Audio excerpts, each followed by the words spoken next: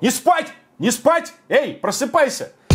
Пока шеварим здесь Расскажет все как есть Будет ругаться и кидать подставки Все ждем только хорошие доставки Всем привет, дорогие друзья! Вы на канале Покашеварим и сегодня воскресное обзорище. Я не могу в воскресенье оставлять вас без обзора, под который вы можете покушать, просто отдохнуть, послушать, посидеть. Вот фоном многие пишут там, типа, я мою посуду и слушаю, как ты трендишь. А некоторые даже писали, что они включают на ночь и засыпают под мой голос. Поэтому не спать! Не спать! Эй, просыпайся! Извините, если я кого-то напугал, не хотел абсолютно. Вот, А вообще прикольно. Вот давайте напишем в комментах, чем вы занимаетесь, когда смотрите обзор. Я понимаю, что 99,9% будут что-то есть. Те, кто ест, пишут, что едят конкретно. Давайте, погнали, у нас такой челлендж. А у меня сегодня Вкусняшка, Саперави кафе, грузинская кухня, причем современная грузинская кухня. Я слыхал, что вот эта контора, она связана как-то с рестораном Вайме, на который мы обзор снимали вместе с моим подписчиком. Был интересный обзор, но хачапури по-аджарски там не очень зашли. Так, доставка, Саперави кафе, давайте что-нибудь закажем у них. У них, в принципе, все довольно классическое, плюс есть несколько необычных таких, э, немножко фриковых историй, наподобие ну, например, вишневый суп чриантели не так часто встретишь. Но я не буду его пробовать, не хочу. Вот, я не знаю, зачем я про него поговорил. Рулетики из баклажанов добавим. Давайте. Вот пхали, конечно же, пхали из шпината с семертинским сыром. Короче, куча всего вкусного. Хачапури по-аджарски. О, ассорти из пяти мини-хачапури. Почему бы не добавить, да?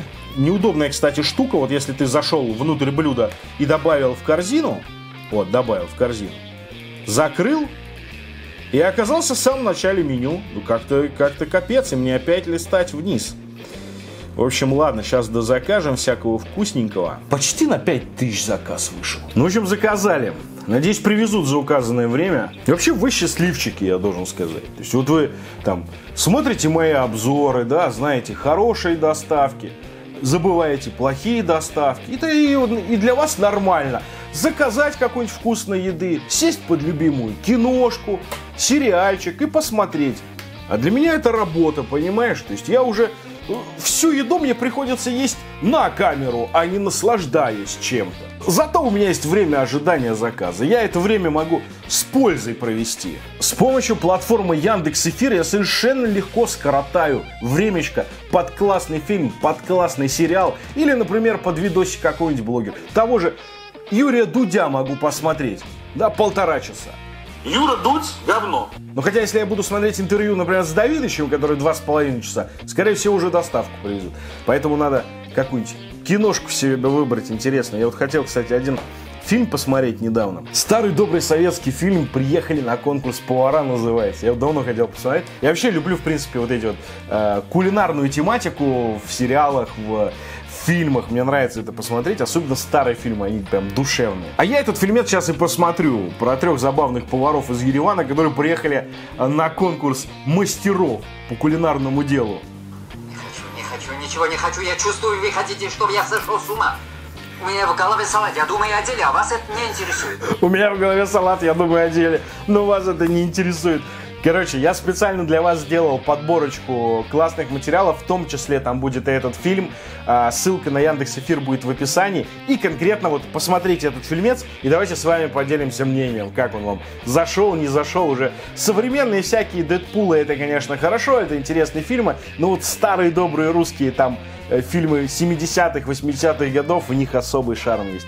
Посмотрите этот фильм, очень рекомендую, и заходите на мою подборочку на Яндекс Эфире. Ссылочки в описании будут. Яндекс Эфир абсолютно бесплатен. Вы можете смотреть ТВ-каналы обычные в прямом эфире, не вопрос. Это плюс к тому, что вы можете смотреть кучу фильмов, кучу сериалов, куча подборочек, как я сказал, блогеров и так далее, и так далее. Яндекс Эфир доступен с любых устройств. Компьютер, телефон, не вопрос. Классный сервис. Дима, а тебе советую посмотреть сериал «Воскресший Эртугрул». Мы сейчас с супругой начали смотреть вечером. Офигенный турецкий сериал, такой в стиле викингов. Про вот древние времена, там, так, типа, Эртугрул такой, знаешь, это харизматичный дядька. Прям посмотри, реально, советую. Час 50 и вся еда у нас. Короче, первый косяк, это капец, конечно. Вот так вот ехала еда, то есть там, очевидно, хачапури. Здесь, видите, прям остаток от бутылки. Тут два момента. Во-первых, бутылка. Капец, как нагрелась я. Ну, то есть она не прохладная, она прям вот 35,9. То есть я ее держу и, и не чувствую температуры. Она температуры тела. Это очень горячо для, для, для напитка. Так, ну а хачапури... Блин. Ну и вот из-за того, что они вот так вот решили поступить, да, э, оно вот так вот и сложилось. Видишь, все продавилось. 43, то есть довольно тепло все доехало. Здесь хачапури, которые я отдельно заказал по-аджарски.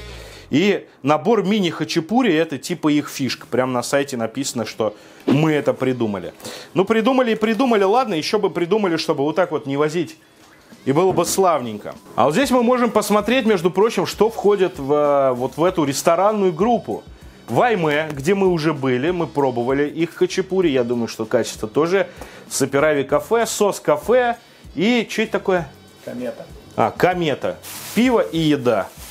Вот, теперь мы знаем, что, кто с кем работает. О, наш дыра, Дим, еще раз покажи.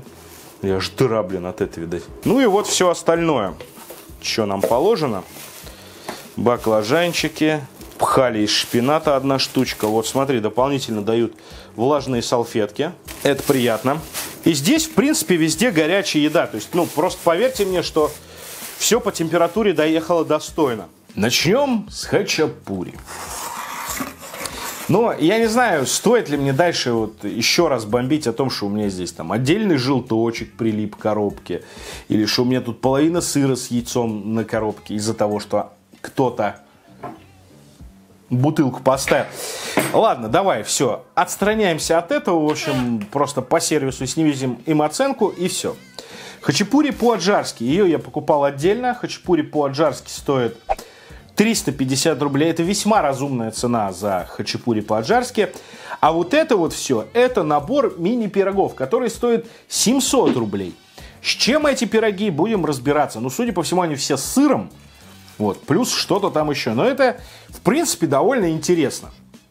Довольно интересно. Вот такие маленькие хачапурьки, это любопытно, как минимум. Жалко, здесь желтка нет. А вот он, он есть отдельно. Пускай там и будет. Вот, то есть тут есть хачапурки, смотрите, это шпинат какой-то зеленуха, просто сыр э, с помидором. Это какая-то сырная булочка, непонятно, просто булочка с сыром. И еще одна булочка с сыром и плюс сверху еще какие-то типа картошки, либо это подзапеченный сыр. Да, это подзапеченный сыр куском, сулугуни, видимо. В общем, вот такая вот история, друзья мои. Вот такие хачапури, но очень мне вот эта вот основная хачапури по-аджарски напоминает м-м, хачапури из ресторана Вайме. Вот. Ну, мы поняли их связь. Соответственно, возможно, готовят абсолютно так же. Тесто не впечатляет, сразу скажу. Это была проблема Вайме, то есть сыр был вкусный, теста нет. Ну, давай проверим здесь. Вот так вот поставлю, чтобы вы видели. Ну, то есть, как невкусное тесто? Я, наверное, неправильно выразился, просто м, не топовое тесто для хачапури. Вот так вот назовем. Само по себе тесто нормальное, то есть такое пирожковое нормальное тесто дрожжевое. Никаких вопросов к нему нету. Но я слишком люблю хачапури для того, чтобы сказать, что тесто мне нравится. Сырок внутри, в принципе, хороший такой, солененький, ферментированный, то есть чувствуется э, сулугунистость в этом сыре. Это радует. Вот в целом весьма годно, съедобно, не топчик, но нормально. То есть плохого сказать прям не могу. Давай попробуем вот это мини-хачапурьки э, с шпинатом, наверное. Потому что я видел у них большую хачапури со шпинатом. В принципе, со шпинатиком весьма недурно. То есть шпинат добавляет какой-то нежности. У шпината э, такое ну, легкое, что ли, ореховое послевкусие, наверное, вот так бы я сказал, да. И вот, это, вот этот вкус, он, он подходит очень к сыру сулугуни. То есть, в принципе, если покупать большой сулугуни со шпинатом, это будет вкусно. Я такое сочетание не пробовал раньше. А это с томатами, это Пицца по-грузински. Причем такой любопытный привкус, как будто бы там еще, знаешь, ну типа чесночок есть. Скорее его- всего его здесь нету, но ощущения такие присутствуют, что там есть еще какой-то вкус помимо помидоров. Кстати, помидорки хорошие, то ли черри, то ли что-то, у них есть хотя бы какой-то вкус. Вот, но это просто лепешка с сыром, ну то есть то же самое будет. И это лепешка только с другим сыром. Не- здесь натертый, здесь куском лежит подзапеченный сырок. Вот, что хочу сказать, значит, по поводу сырных историй от э, ресторана Саперави. Все-таки это клон Вайме, и здесь я недополучаю кайфа от выпечки. Она неплохая. Она неплохая, но мне она не заходит, потому что я ел лучше. Вот, вот и все. То есть это, возможно, из серии зажрался, но так сложилось, что действительно я уже много в своей жизни попробовал. Ребята, посмотрите, мне 6 лет канал. Уже там миллион обзоров всяких куча заведений. Естественно, я много чего ел, поэтому с точки зрения зажирался мне все-таки нет. Но с точки зрения вот просто э, зайти и поесть или заказать, вполне нормально. То есть это, это неплохой хачапури, вот так скажем. И отдельно мнение хочу высказать насчет вот набора за 700 рублей, а, либо две хачапури по 350. Две хачапури по 350. Я ничего не взвешивал, потому что ну, нет э, веса на сайте. Шашлык из курицы. 390 рублей стоит 200 граммов весит. Сравнить нам не с чем. Мы просто знаем, что это весит 200 граммов. Э, Здесь у нас входит... А что у нас с этим? Вот вилок у нас нету. Нам не дали. Хотя на сайте была четкая, четкое поле, где было написано количество персон. По идее, это предполагает количество посуды, вилок, ложек, которые вам дадут, чтобы все это съесть. Но нет. Так, шашлычок под коньячок вкусно очень. Это куриная грудка. Это не куриные бедрышки. Стоит он 390 рублей. А, а когда я сказал про куриную грудку, а не куриные бедрышки, я это в негативном ключе сказал. Потому что в шашлыке куриные бедрышки это вкуснее, чем куриная грудка. Она получается всегда суши. Так, внутри сумах мы видим в коробке. Дим, видно на камере? Да? Красненькое вот это. А, то есть посыпано сумахом, причем как-то сбоку. А, ну это, видимо, лук был посыпан сумахом. Лук чуть-чуть замаринованный, потому что здесь э, вышла влага. Вот мы видим прям, э, значит, лук э, точно, как минимум, посолен, наверное, посахарен был, чуть-чуть подмаринован. И добавлен сумах. Вот. Что касается, значит, самого мяса. Ну, пока мы тут трендели, все, конечно, подостыло немножко, но тем не менее, давай посмотрим на срезе. Готовят на шампурах. Это уже приятно. То есть, скорее всего, даже, может, над угольками. Хотя это не показатель. Мясо даже подостывшее, в принципе, мягкое. То есть, я порезал его, оно было мягкое. Давайте проверим, насколько оно сочное. Потому что жарить куриную грудку всегда опасно. Приятный замаринованный лучок. И, в принципе, не дурная куриная грудка. Могу сказать, что они ее не испортили. Замаринована она вкусно. Они ее не пересушили, когда готовили. А по большому счету, что еще надо от шашлыка из курицы?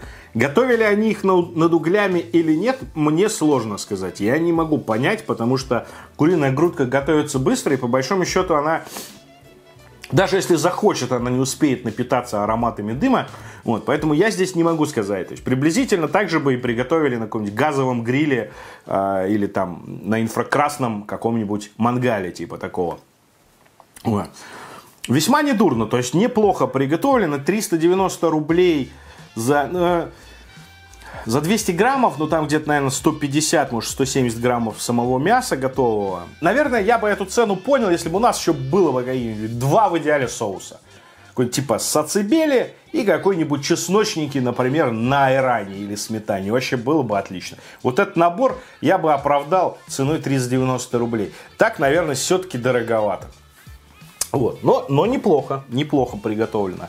Так, что еще? Давай хинкальки посмотрим. Ну, вот хинкали прям четкие, прям как ваймы. Я, я, я не помню точно, как они выглядели, но мне кажется, все готовят приблизительно так же. Те же яйца, только э, в профиль. Хинкали на полбиной муке 5 штук с говядиной 390 рублей. Вот так вот даже по весу я ощущаю, что это блюдо стоит 390 рублей. Потому что, смотри, оно будет весить, блин, 560 граммов. Если там окажется мясо, это уже будет все, это будет одобрямс. Смотри, здоровый хинкали. Оп. Там, правда, бульончик вылился, ну, потому что они пока доехали, вот, давай, у нас выпал кусочек мяса, да? Посмотрим на кусочек фарша, точнее.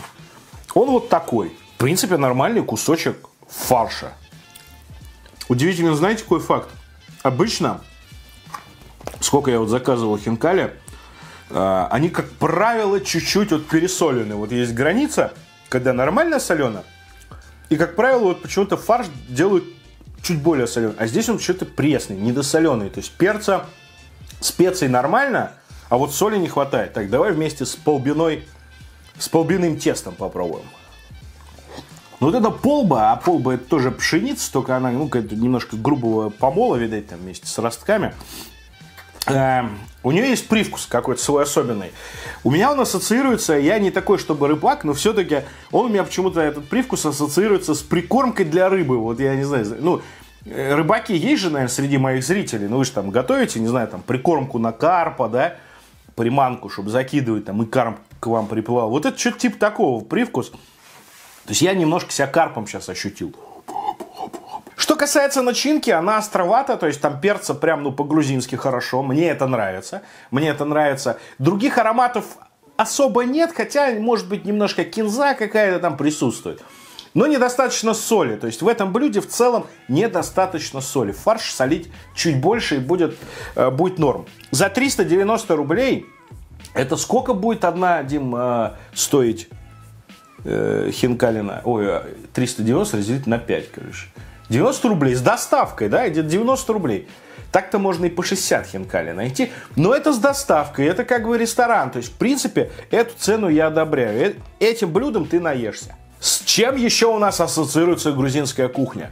Конечно же, с супом харчо. А харчо это визитная карточка. У них на сайте написано, что у них дофига фирменный харчо. Харчо. 350 рублей. А весит харчо за 350 рублей 340 граммов. Дороговато для супа, дороговато. Тут как бы я спорить с вами не буду. Но давай посмотрим на его прекрасие. Харчо довольно жиденькое. Кстати, у них же на сайте я прочитал, что они хотели бы вернуть типа традицию воспринимать харчо как второе блюдо. И оказывается, харчо, видимо, в Грузии считается вторым блюдом. Но чтобы его считать вторым блюдом, оно должно быть чуть более концентрированным, а не, вот, а не жиденьким таким. Здесь два кусочка мяса, ладно, придираться не будем. В конце концов, харчо, главное, вкус, острота, аромат и прочее. Чувствую ли я сейчас аромат харчо какой-то божественный? Пожалуй, нет. Я вам отвечаю, вот кафе какое-нибудь грузинское, где делают офигенный харчо, воняет просто вот в радиусе нескольких кварталов. Я такое кафе посещал, блин. Доедем как-нибудь вам снимем. Самый вкусный люля-кебаб, который я ел. Один из самых вкусных хачапури и самый божественный харчок, который вообще я пробовал в своей жизни. Пахло, я говорю, подходишь в кафе и пахнет уже издали просто. Ну, возможно, там с вентиляцией что-то не то, не знаю. Давай попробуем. Здесь довольно скромненько. М-м, не, хотя не, по вкусу хорошо. Нормально, вообще бульончик душевный. Кусочки говядины очень мягкие. Хороший рис не кашкой. Ну, могу сказать, что это вкусный. То есть по вкусу это хороший харчо. Может быть, э, чуть-чуть его более загустить, чтобы там чуть побольше риса было, поменьше бульона и всякое такое. Вот, он был бы прям вообще топчик. А так хорошо, то есть я чувствую привкус кинзы легкие, вот кориандрик, все, ну то есть все, что должно быть в харчо, и он островатый, да, довольно сдержанный, кстати, острый, то есть кто не любит острое, это харчо съест нормально. И по соли отлично. Короче, я одобряю такой харчо. Я говорю, единственное, что за эти деньги он бы мог быть более насыщенный или порция побольше. Э, Все-таки для супа стоимость вот 350 рублей, она как бы обязывает немножко. То есть, ну, хотя бы, я не знаю, там, бесплатно бы булочку бы дали, знаешь, что-то такое, там, баночку зеленью еще, чтобы сверху накрошить кинзы той же самой, да, дополнительно. Вот, ну а так как бы скромненько, суп годный, но дороговато для него.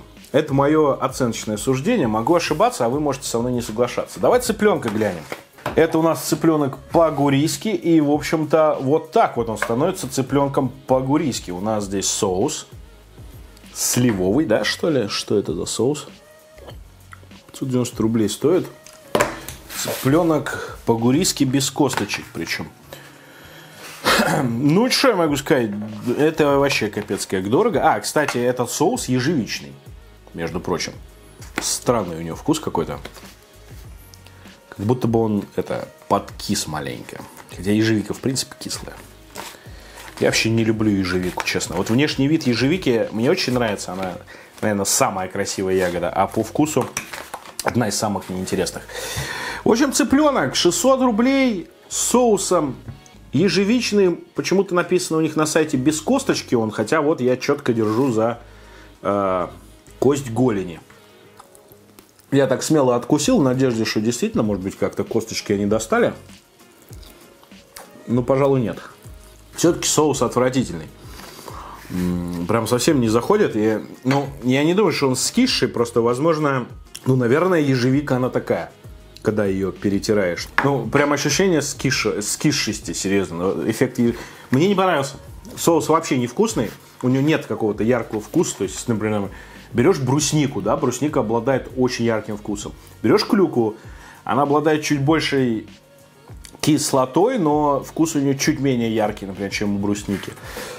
Ну и там и так далее, да, там клубника вообще бомба, облепиха еще бомбее и так далее. Ежевика это уныло. Ну чисто для того, чтобы на сайте написать, у нас там ежевичный соус, ну да, звучит эффектно, а по факту вообще не интересно. Сам цыпленок приготовлен нормально, это цыпленок э, приготовлен в стиле тапока, да, то есть придавленный, расплющенный. Вот такой вот цыпленок. Нормально приготовлен, вкус у него хороший, то есть там тоже он посолен, все как надо, все хорошо. Но вот этот соус абсолютно неинтересный. Э, за 600 рублей брать такого цыпленка с этим соусом я бы не стал. У них вот есть, например, эм, цыпленок по-гурийски это окей, но у них есть еще и какой-то еще цыпленок. В чесночном соусе. Ну, вот в общем, в чесночном соусе. Вот его лучше брать. Он, я думаю, что будет вкуснее. Сам цыпленок приготовлен годно. Все, ребята, что у нас? А, давай пхали попробуем. Пхали, они причем не сильно заморачиваются насчет внешнего вида. Вот здесь вот такой э, большую довольно порцию пхали кладут. Э, пхали из шпината 280 рублей. Тут сырок и тут еще какая-то, еще сырок, видимо. Это же, это же не хлеб, это сырок, наверное. 280 рублей. 150 граммов. Что ж вот это такое? Нет, какая-то лепешка. Ну, это жесткая э, и невкусная лепешка. А вот это сыр. Камердинский. Рассыпчатый, неплохой сыр. Хороший сырок, да. Ну ладно, давай попробуем, что из себя представляет само пхали. Ну вообще пхали приготовить невкусно довольно сложно. Я бы осмелился такое съесть. Конечно, ну опять-таки, разговоры про цену, они всегда очень субъективны. То есть, понимаете, если вы там... м, Пхали не очень дешевый продукт сам по себе. Кажется, что такого там, шпинат, да, орехи. Блин, ну а шпинат сколько стоит? А орехи сколько стоят? То есть, в принципе, это продукт не дешевый. Потому что изначально ингредиенты для него не дешевые. Поэтому ты получаешь мало продукта за большие деньги. И как бы да, то есть вот можно вечно сравнивать, там, за эти деньги можно там две шавухи купить. Ну да, можно купить две шавухи. Если вы в таких категориях мыслите, то для вас эта цена э, покажется высокой. Для кого-то, может быть, эта цена покажется низкой. В общем, все очень относительно. Относительно дошика вообще все, что мы сейчас делаем, это стоит безумных денег. Так, у нас уже остывший люля-кебаб есть из баранины. Давай посмотрим его. 420 рублей стоят вот такие две штучки люляшки. 180 граммов за 420 рублей. Люля-кебаб из баранины. Тоже с лучком, тоже с сумахом. Сумах, так же как и в курице, все-таки он идет отдельно. То есть я думал, они вместе с луком его перемешиваем, но нет. Сумах они сыпят вот здесь вот горочкой. И как бы зачем? Замаринованный лук дает влагу. Сумах в итоге превращается вот в эту бесполезную, по большому счету, кашку. То есть, либо сразу его перемешать с луком, либо посыпать люля-кебаб, то есть, ну как вот. А так получается в никуда просто. Мы всыпали этот сумах и все. Соуса опять-таки никакого нет. Равно как и вилки. Годно сделанный люля. Вкусный действительно бараний, чувствуется привкус баранины, вот этот курдючный, мне нравится. I like it. Но здесь абсолютно четко это блюдо дорогое для той подачи, вот, которую я вижу. То есть я говорю, если бы здесь мне бы подали два соуса дополнительно, какой-нибудь маленький кусочек э, хлеба, я бы был удовлетворен. То есть 420 рублей, когда ты вот эту сумму платишь, ты хочешь получить все-таки блюдо. А блюдо это как бы второе, первое и компот. Я уж не требую компот, как бы, но оно должно быть как-то дополнено. То есть оно за эти деньги должно быть укомплектовано, что ли. Потому что это Жигули на минималках, а мне хочется хотя бы Солярис, чтобы был вот с кондиционером. Вот тогда меня бы это устроило. За 420 рублей в таком виде я брать не стал. Но э, люля приготовлен неплохо. Так, у нас рулетики из баклажанов, причем аж в двух вариантах. Смотрите. Баклажаны с сулугуни, томатами и специями. Вот эта вот штука. Причем, смотри, оно так говорю, в каком-то соусе, да? Типа томатный. 470 рублей стоит. А есть рулетики из баклажана с начинкой из фундука и специй. Стоит 400 рублей. Чуть подешевле, но тут 4 кусочка, тут их 3. Выглядит все ровно так же, как на картинках, никакого обмана. Вот, давай немножко взвесим, да, блюда, которые за 400 рублей, вот сколько они могут весить. Ну, вот это вот 170 граммов. Нет, 211. Так, давай здесь угадаю. А, 150. Блин, 133, опять не угадал. Короче, у меня вообще ни глаз, ни алмаз, нифига ни разу. Рулетик с фундуком. Смотри, тут толстый такой кусок баклажана, причем со срезанной э, кожурой. Видите, он абсолютно светлый. Зернышко граната. И, в общем, вот такой вот рулетик. Давай его сейчас бахнем. Четкий рулетик. Очень э, хороший ореховый, э, ореховый вкус. То есть, прям чувствуется фундук чесночок, перчик, соль, как бы и все норм. Все норм. Это действительно э, неплохие рулетики. Цена проехали. Вы поняли. Вот. Но вторые, они какие-то более аппетитные, что ли. Потому что, потому что они пышат сочностью какой-то, влагой. Смотри, там, что они тушеные, что ли. Я не знаю, как это приготовлено. Давай попробуем один достать, чтобы как-то его рассмотреть. В общем, вот такое вот жидкое блюдо. Хочется попробовать, серьезно. И очень томатный аромат оттуда идет. Прям именно томатный. Просто огонь. Потому что здесь феноменально беспроигрышный вариант сочетаний. Сыр сулугуни. Обожаю. Просто король сыров. Баклажан. Обожаю баклажан. Это овощное мясо, как я считаю. И абсолютно изумительный томатный вот этот вот соус. То есть вкус томатов, прям вот вкус томатов. Бомбически вкусное блюдо. Я не знаю, что сказать, серьезно. Я вот в таком формате никогда не ел еще блюдо. То есть для меня это, несмотря на то, что вкусы все понятные, но для меня это новый в целом вкус получился. Я ставлю 5 с плюсом за это блюдо. Это очень вкусно. Серьезно. У нас, у нас же вот как это, в каждом вот заведении, если хорошее, то есть всегда какая-то зацепка, зачем хочется вернуться, да? Даже вспоминая э, курочку Ромы, при всех там приколах вокруг этой всей истории, но крылья, которые они там делали, это прям вообще, это, это реально огонь, очень вкусные крылья, прям на вот так вот. Вот. Потом э, ресторан э, Starlight Diners, да? Коктейль Сникерс. Дима, Да, очень. это то, ради чего я готов ехать в Starlight Diners. И там вкуснее, чем в Беверли-Хиллз, например. Мы сравнивали, я это знаю. Вот, то э, таких заведений немного, где есть вот действительно какие-то зацепки, за которыми, ну, которые я вспомню и вернусь. Вот это блюдо, это такая зацепка в заведении, как она называется, Сапирави кафе, блин. Изумительно вкусно. Тебе оставляю, Дим.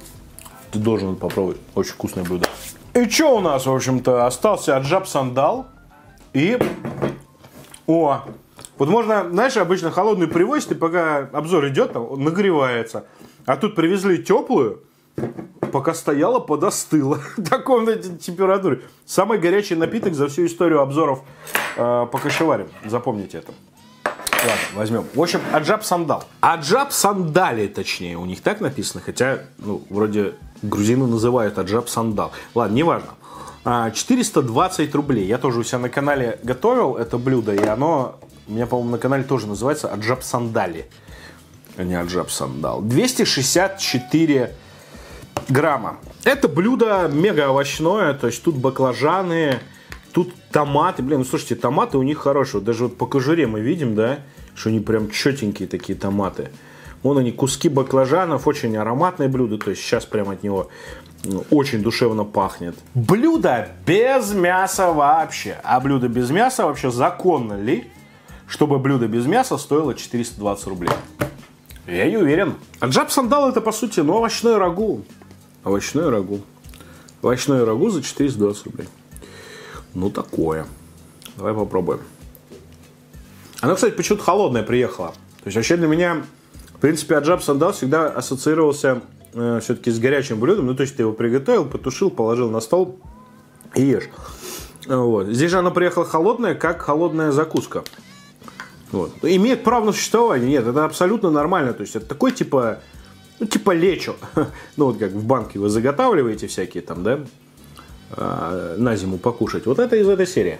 Джаб сандал можно легко закатывать в банке. С овощной точки зрения богато, ароматно, хорошо приготовлено, соль, все, специи, все хорошо. Хороший, вкусный э, закусончик, да? Ну как, наверное, закусончик все-таки. Не второе блюдо. Э, Цена чуть неадекватная, но уж как есть. То есть приготовлен он хорошо. Но все-таки насколько же я хочу съесть тот последний кусочек баклажанов. Дима? Очень вкусно. Да я шучу, конечно, я тебе оставлю. Надо, ты должен попробовать, потому что ты прям изумительно сделан. За предыдущим блюдом в Сапераве кафе стоит э, заехать, где у них там есть же, наверное, места. Или заказать, прям закажите обязательно. Баклажаны в томатах с сулугуни. Так, давай попробуем вот эту Гамарджоба Сапирави лимонад. Это что, прям грузинский, что ли? А, не, у нас делают. Не, подожди, гоню. В Грузии делают, а импортируют к нам. С... Официальный импортер ООО «Миура Россия». Так, состав. Вода, сахар, диоксид углерода, ароматизатор идентичный натуральному. Я всегда очень хорошо отзываюсь, ну, мне очень по вкусу нравятся напитки на тахтари или на тахтаре, кто как называет. Вот. Но у них состав, блин, куча аромочек. М-м, прям виноградный этот, действительно, на тахтаре сапирая. Как будто на одном заводе льют. Прям вот виноградный на тахтаре и вот это вот гамарджоба сапирави по вкусу абсолютно одинаковые, серьезно. Вот сколько стоит напиток, сейчас давай посмотрим. Это 0,5, э, 120 рублей. 120 рублей стоит 0,5 такая вот газировочка. Там куча всяких э, видов. Фу, ну что, получается, мы все попробовали, да, из того, что я заказал. Э, Мы, говорю, попробовали. Попробовал-то я, а Дима стоит мучается. Ну ничего, тебя там ждет божественный баклажанчик. Блин, вкусный. Вот. Все попробовали. Что хочу сказать? Да не, не расходимся. Хотел сказать, типа расходимся. А что, не расходимся. То есть в целом место годное. Я не могу сказать, что что-то тут прям плохо. Такого прям плохого тут из всего того, что с нами случилось, это, пожалуй, только э, доставка в виде бутылки, которая испортила нам э, хачапури.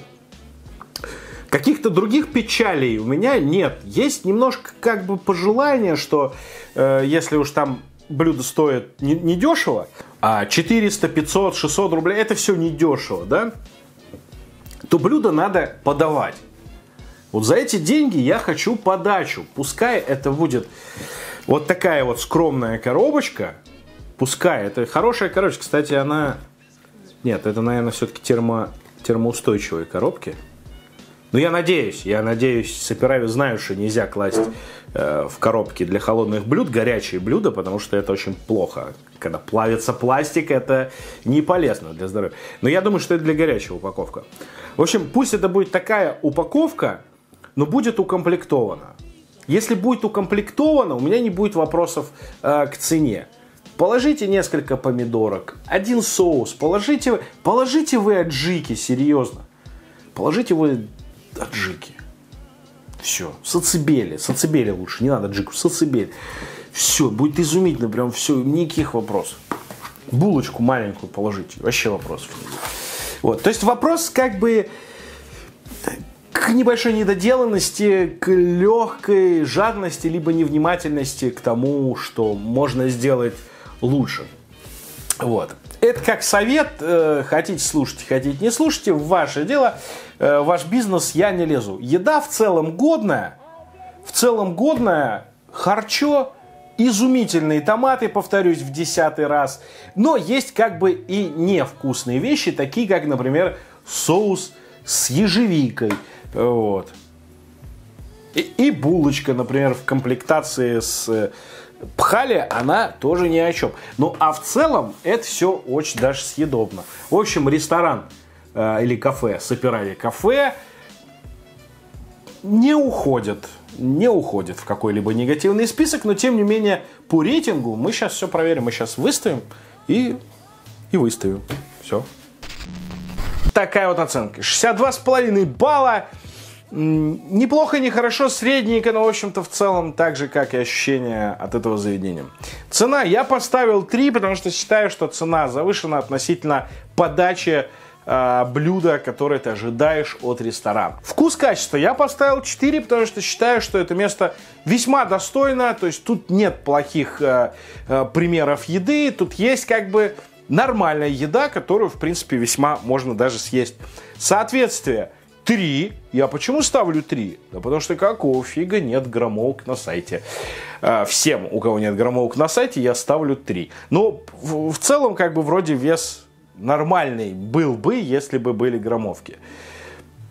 Сервис 2. Ни салфеток, ни ложечек, ни вилочек. Ничего не положили. Плюс курьер там по 10 раз перезванивал. Что-то, в общем, много непонятных разных. Скорость 3. Ну, конкретно до меня везли довольно долго. 2 часа это немало, поэтому ставлю 3. Температура 3. А температура 3 из-за чего? Нет, еда была весьма горячая. Но, блин, напиток, который практически обжигает руку. Это ненормально, поэтому 3. Ну и лайк. Вот все-таки в данном случае я, пожалуй, от себя поставлю. Я редко так поступаю, потому что лайк либо он есть, либо его нет. А это как бы 2,5 ну, скорее, в принципе, можно посетить это место. Это мое мнение. Ставим половину вот этого критерия – оценка такая, общий рейтинг э, оценок на все обзоры, на все заведения, на которые были сняты обзоры на канале Покашеварим, есть на сайте покашеварим.ру. Можете туда зайти, свои отзывы оставить, э, фотографии какие-то приложить, комментарии написать или там выразить лайком или дизлайком свое отношение к тому или иному кафе. Так что заходите, тоже участвуйте, ну и выбирайте вкусные места для того, чтобы поесть. Да. И не забывайте, что в описании – Э, к видео есть подборочка на Яндекс Эфир, где вы можете хорошо, душевно скоротать время э, под фильмец или сериальчик, связанный с едой. Переходите. Яндекс Эфир, покашеварим, обзорище, воскресенье. До скорых встреч. Пока.